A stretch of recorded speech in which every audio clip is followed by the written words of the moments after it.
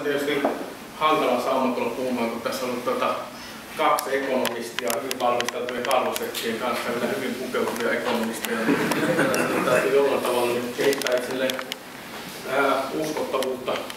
Mutta tuota, tässä niin oikeastaan ajatuksenakin tässä niin kun esitysten dynamiikassa, että, että tämmöisten ikään kuin hyvin vahvasti taloudellisiin kysymyksiin kohdistuvien puheenvuorojen jälkeen menisi vähän enemmän ikään kuin poliittiseen ajatukseen ja sen dynamiikkaan ja ää, poliittiseen vastaanottoon. Eli tota, mistä, mistä tota, kansalaisosin tai QE for People ajatus tuli ja tota, mistä, miten siihen on suhtauduttu. Nyt mun etsitään sanoa, että, että keskustelu on sillä tavalla vähän niin kuin hankalaa, koska aiheen määrittely on kaikkea muuta kuin selvää. Tavallaan me puhutaan niin kahdesta täysin eri, erilaisesta ideasta yhtä aikaa, kun me puhutaan tästä niin kuin QE for People-ajatuksesta. Ja tavallaan me niin puhutaan tämmöisestä, niin kuin, mikä tässä on nyt ehkä tämän suomenkielisen käännöksen myötä niin kuin enemmän intuitiona tämä niin elvyttävä kansalaisosinko. Ajatus nimenomaan siitä, että kansalaisille suoraan annetaan joko tämmöisen niin kuin kerta settinä tai sitten niin kuin jotenkin muuten hyvin suunnitellun, suunnitellun kohdennetun ohjelman avulla tietty määrä rahaa käyttöön suoraan, jolla se vertautuu johonkin tämmöiseen niin kohdennettuun tai tilapäiseen perustulomalliin. Tai sitten puhutaan tämmöisestä infrastruktuurin rahoittamiseen suunnitellusta erityisvälineestä, josta esimerkiksi just Britanniassa, josta tämä, tämä QE for People keskustelu nyt on ainakin niin selvästi eniten lähtenyt ja siellä se on niin vahvimmillaan, niin, niin mitä siellä on niin selvästi tarkoitettu tällä ajatuksella. Perusajatus on siis se, että perustetaan joku erityinen infrastruktuurirahasto, jolla on tietty määritelty tehtävä nimenomaan investointitason pitämisenä riittävällä, riittävällä tasolla ja tällä, tällä tavalla lama, lamasta nousemiseen ja tämmöisiä niin kohdennetun hyvinvoinnin tehtäviä niin saattaa liittyä tämmöisiin sitten ikään kuin ää, erityisiin hyvinvointia lisääviin toimiin tai tämmöisen niin ekologisen transformaation edellyttämiin infrastruktuuritoimiin, niin vähähiiliseen yhteiskuntaan siirtymiseen ja niin edespäin. Ja että tämmöinen erityis ää, erityisrahasto tai virasto, mistä sen haluaa sanoa, niin saisi rahoituksensa suoraan keskuspankista jollain, jo, jonkun tämmöisen niin kuin erikseen määritellyn ohjelman kautta. Ja tässä nyt kuitenkin kun puhutaan pikkusen, pikkusen niin erilaisista ideoista, toki se niin perusajatus on sama, että tätä keskuspankkirahoitusta suunnataan toisin, niin kuin tuossa Patrizio esityksessä se jo tuota, tuota, tuota, hyvinkin, hyvinkin tuota, tarkkaan tuli, tuli kuvattua. Jollain tavalla tämä on selvästi niin kuitenkin ajatus, joka niin kuin, jolla oli niin kuin sosiaalisesti kysyntä, jolla on vahva sosiaalinen kysyntä tässä ajassa. Siihen tuntuu niin yhdistyvän ratkaisumalli useampaan ongelmaan, niin kuin tässä, tässä edellisessä esityksessä tuli, tuli myös tämmöisiä erilaisia nyky, nykyhaasteita, tuntuu ongelmanratkaisu lähtöiseltä ja käyttää olemassa olevaa, olevia välineitä luovalla tavalla, minkä lisäksi yleensä niin tämmöisessä ideassa, jotka niin saa jotenkin tuulta alleen, niin edellytyksenä on se, että joku poliittinen voima ottaa sen omakseen. Ja selvästi tämä tota, Jeremy Corbynin kampanja Britanniassa oli semmoinen niin kuin ikään kuin riittävän uskottava poliittinen voima, joka pystyi käyttämään tätä, tätä Q for People-ajatusta ikään kuin yhtenä tämmöisenä mobilisaatio mobilisaatiovälineenä.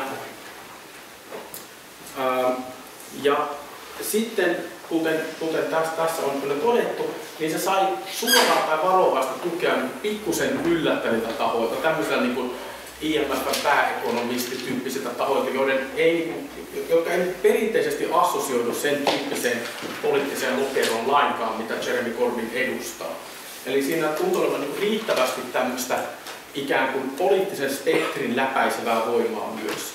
Toki varmasti niin kuin enemmän, enemmän puhutaan niin kuin vasemmistopolitiikasta, kun me puhutaan, puhutaan tästä, tästä mallista, mutta kuitenkin riittävästi tämmöistä ikään kuin poikkipoliittista, ettei se niin välittömästi, välittömästi tuota, lokeroitunut.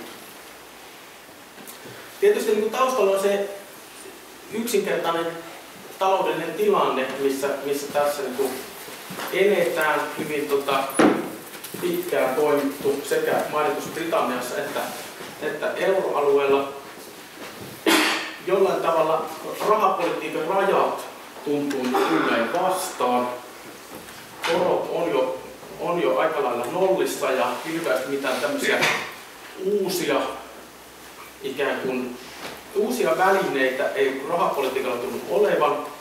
Samaan aikaan ö, talouden tila on edelleen vaikea ja finanssipolitiikka ylipäänsä on ajettu hyvin, hyvin ahtaalle. Pelkästään näillä rahapoliittisilla välineillä ei ole pystytty saamaan riittävää taloudellista kasvua aikaiseksi tilanteessa, jossa valtioiden rahan käyttöä, julkisen vallan rahan käyttöä rajoitetaan val valtavan ko kovilla välineillä, joko niin enemmän itse määrittelyllä niin Britanniassa tai sitten tämmöisellä niin kuin sopimuksella, niin kuin, kuten euro, euroalueella. Ja tämmöistä tilanteessa tietysti sitten, sitten tota, nousu esiin tämä, tämä tosiasia, että ei mitään sellaisia niin erityisiä esteitä sille, etteikö rahapolitiikkaa voisi käyttää tämmöiseen, tämmöiseen niin kuin, ää, tämmöistä niin erityisvälineiden rahoittamiseen. Jo, tai erityisvälineiden tai, tai sitten niin suoraan, suoraan kansalaisten tilien, tilien rahoittamiseen. Ähm.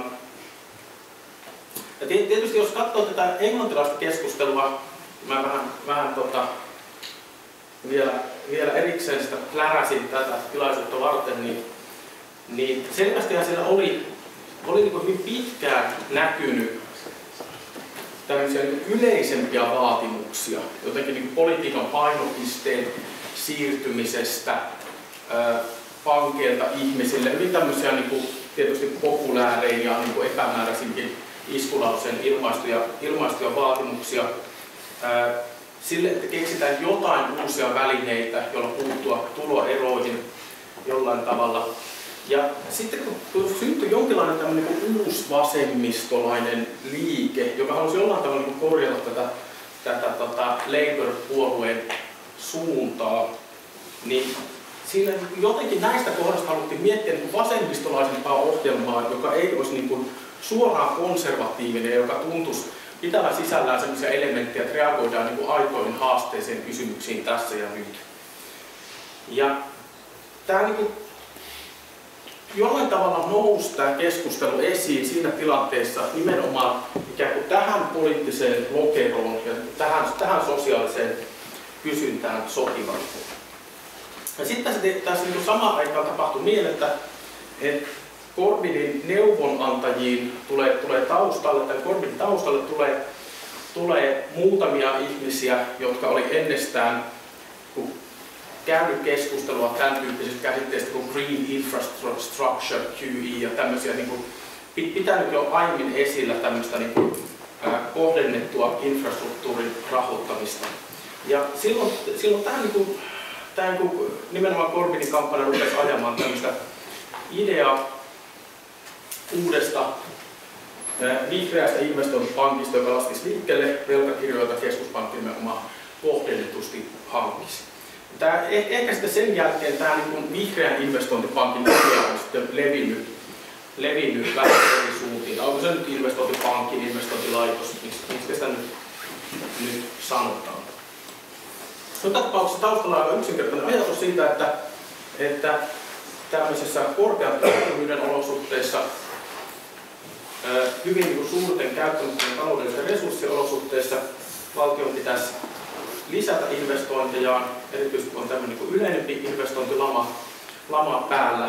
Ja tällä on semmoista elvyttävää vaikutusta, joka tota, joka olisi niin kuin, no, yleisen hyvinvoinnin kannalta välttämätöntä, mutta myös niin sen tyyppistä, jonka ei tarvitsisi ainakaan lyhyellä tähtäimellä pelätä johtavan mihinkään niin äkilliseen inflaatioon, jos puhutaan niin hyvinkin, hyvinkin niin kuin korkean työttömyyden olosuhteista. Ja sitten taas niin huomataan, että samaan aikaan tässä poliittisessa keskustelussa on niin kaivettu esiin myös hyvin paljon ikään kuin tämmöisen niin historiallisen oppimisen, historiallisen tietoisuuden kautta ideoita siitä, että millä tavalla torjuttiin suurlamaa viimeksi, viimeksi kun Euroopassa oli suurlama 20-30-luvulla. Ja tämä on tämmöistä niin jännittävää ikään kuin, niin kuin taloushistorian pitkälti niin kuin unohtamaa kertomusta.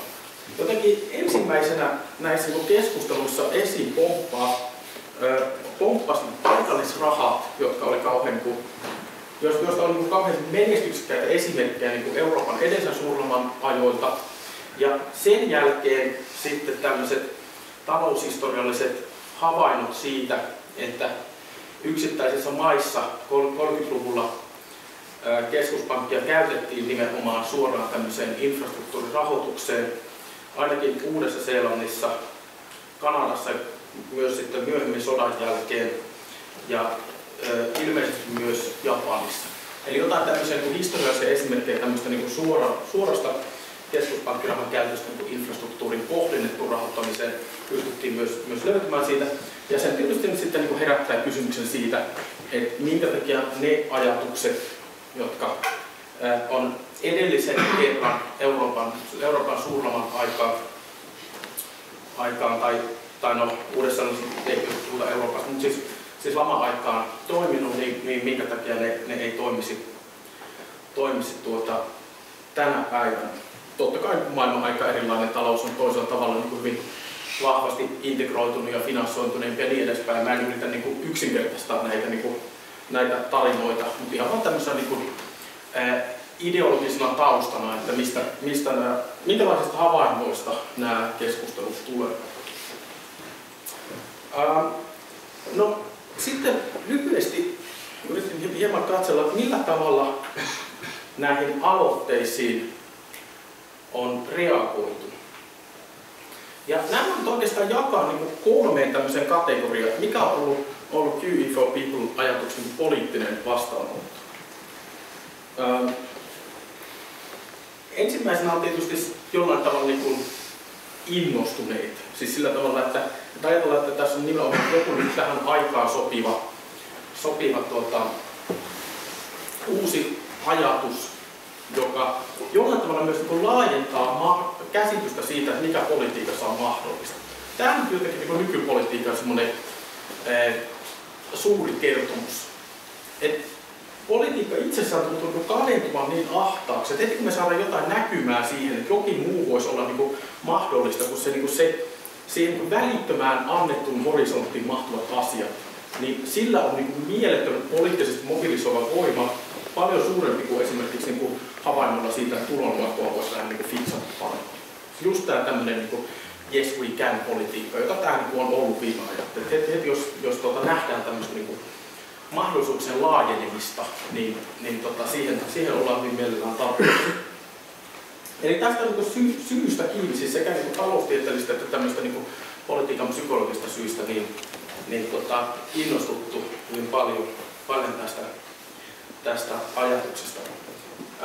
Sitten on, on tietysti niin kuin jonkin verran nähtävissä tämmöisessä julkisessa keskustelussa, erityisesti just englantilaisessa keskustelussa, suoranaista hermostumista tästä ajatuksesta. Nämä ei ole yleisesti ottaen niin kuin kauhean kiinnostavia niin kuin siis intellektuaalisesti, koska niissä lähinnä toistuu muutama tämmöistä niin kuin iskusanat, joiden tehtävä on vaan niin kuin, torjua idea ilman keskustelua. Nämä taloustieteilijät jotenkin tykkää tämmöisestä niin kiertävästä iskusanoista niin kuin snake oil ja no magic money tree, mikä niin esiintyy aina sillä tavalla, niin että et, et vaan niin tämmöisiä pelkkiä yksittäisiä iskusanoja, joiden keino on, on niin kuin, että se on funktio sanoa, että niin kuin, tästä ei ole syytä edes puhua. Ja tätä, tätä, tätä on tietysti näkynyt, näkynyt jonkin verran keskustelussa, mutta, mutta ehkä yllättävänkin vähän, johtuen nimenomaan siitä, että kyse on niin olemassa olevan välineen kääntämisestä toisenlaiseen käyttöön, on niin kuin hirveän hankala sanoa, että, että tota, pil, pilkata tätä QE for People-ajatusta tämmöisestä niin kuin, niin kuin rahan, rahan, raha tulee taikaseinästä ajattelusta, kun sitä kuitenkin niin kuin, finanssimarkkinoilla käytetään QE tota, välineitä jatkuvasti. ja sitten ehkä kolmantena kategoria, mikä tässä vastauksessa näkyy, on niin tämä jollain tavalla mun mielestä jotenkin kiinnostavin kategoria, johon pitäisi jotenkin saada niin ote poliittisesti, joka on nimenomaan, ehkä tässä niin kuin ensimmäisessä puheenvuorossa näkynyt tämmöinen, tämmöinen tota, kaltevan pinnan ajatus.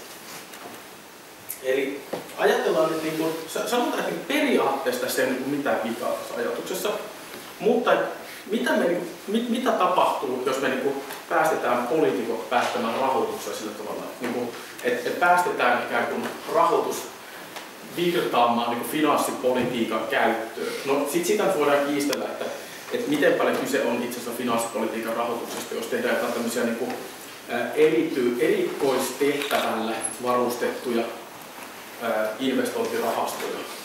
On, onhan se tietysti niin kuin, joo, mutta että siis tavallaan tämä on hyvin rajattu, ei niin finanssipolitiikkaa semmoisessa mielessä, että, niin kuin, että tota, laitetaan suoraan rahaa esimerkiksi valtion budjettiin. Siinä, siinä mielessä niin malli, malli on toisenlainen. Mutta jännittävällä tavalla, tavalla niin tota,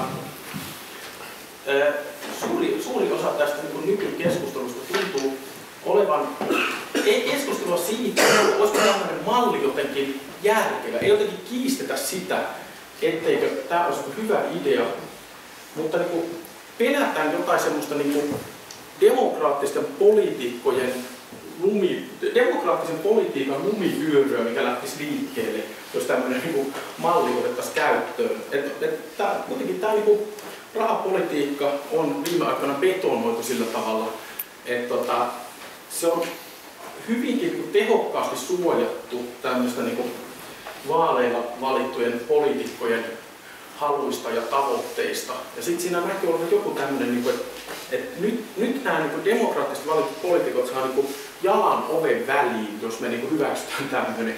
Ja siitä seuraa jotain niin hallitsematonta. Ja tietysti niin tähän on, on niin pyritty niin reagoimaan eri tavoilla tämän niin kampanjan piirissä. Tähän on selvästi kaksi eri, eri reagointitapaa. Ensimmäinen on se, että tota, sanotaan, että, niin meidän poliittisten järjestelmien lähtökohta on demokraattinen oikeutus. Ei ole niin kuin mitään syytä, miksi tämmöiset, niin kuin, tämmöisen niin rahapolitiikan käytön taustalla ei viime kädessä pitäisi olla demokraattinen oikeutus ihan yhtä lailla kuin finanssipolitiikan tai mikä tahansa politiikan lajin taustalla. Ja toinen malli on tietysti se, että yritetään niin kuin vakuutella, mikä nyt on varmaan niin siis retorista syystä paljon yleisempää, yritetään vakuutella siitä, että kyse on äärimmäisen tarkkaan kohdennetusta ohjelmasta, joka pysyy tiukasti tietyissä rajoissa, jossa niin rahat todella kanavoidaan vaan siihen tiettyyn rahastoon sille tietyllä ajalla tai niin kuin, vaan niin tämmöisenä yksittäisenä, varmasti yksittäisenä poikkeustoimena ää, suoraan, suoraan ihmisten käyttöön. Ja tässä voi tietysti miettiä sitten, että jos, jos, niin kuin, jos tällaista ää, kun miettii ihan niin kampanjan kannalta tai niin poliittisena ideana niin Suomen keskustelussa sillä tavalla, että, että kumpi nyt on sitten se, se niin kuin linja, jota haluaa pitää yllä, koska ne on kuitenkin niin kuin aika erilaisia asioita. Ja kyllä siis selvästi Englannissa tämä keskustelu on niin kuin liikkunut siihen, että kun niin kuin Corbynin kampanja aloitti, niin nämä jotkut taustalla olevat ihmiset puhu siinä, että keskuspankilta viedään itsenäisyys ensimmäisenä päivänä, kun niin kuin Labour on taas vallassa. Et siis hyvin tämmöinen niin tämmöinen voimakas ajatus siitä, että, niin kuin, että, rahapolitiikka laitetaan ikään kuin tämmöisen poliittisen demokraattisen kontrollin alle. Ja siitä on tavallaan liikuttu niin aika nopeasti taas tässä niin kuin toiseen ääripäähän, jossa niin kuin vakuutellaan taas sitten, että, että kyse on vaan siitä, että miten rajat asetetaan tämmöisen niin rahoituksen käytölle, mutta nämä niin rajat tulee varmasti olemaan tiukkoja. vakuutellaan sitä, että niin kuin, et, et laitetaan, laitetaan niin kuin raja eri tavalla, mutta ne ei sitten, sitten taatusti, taatusti vuoda.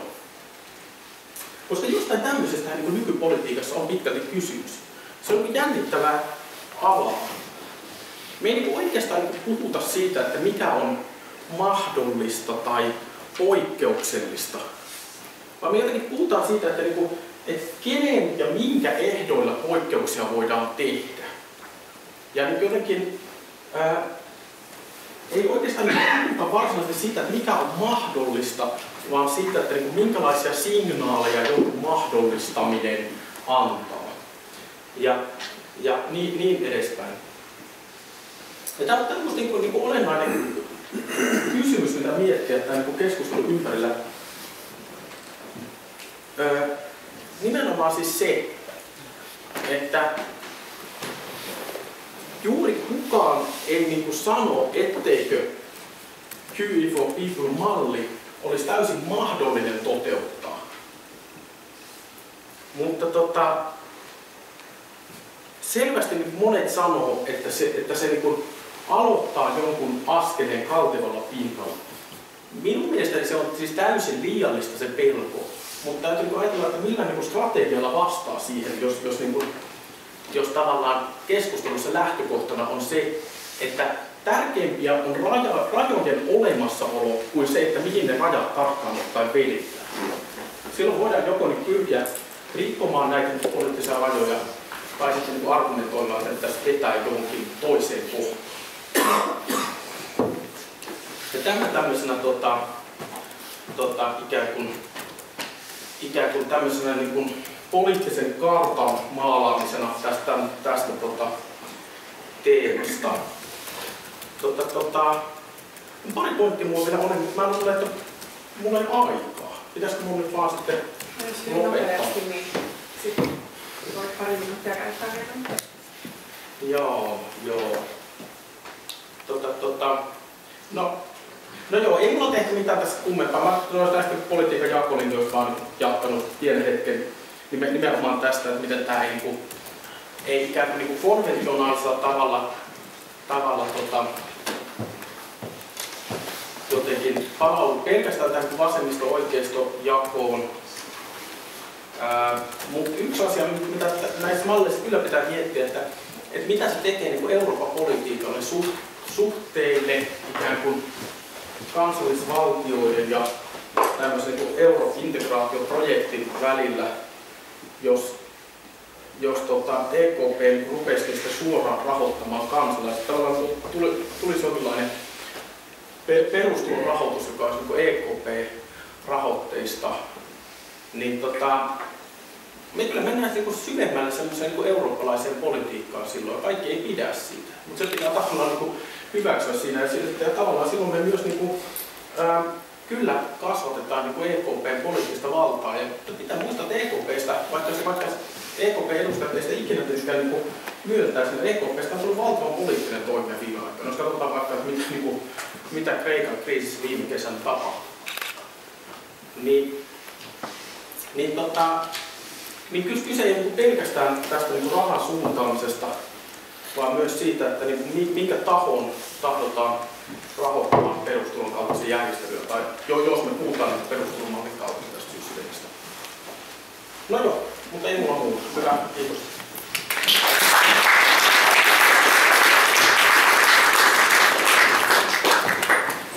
Kiitos, voidaan jatkaa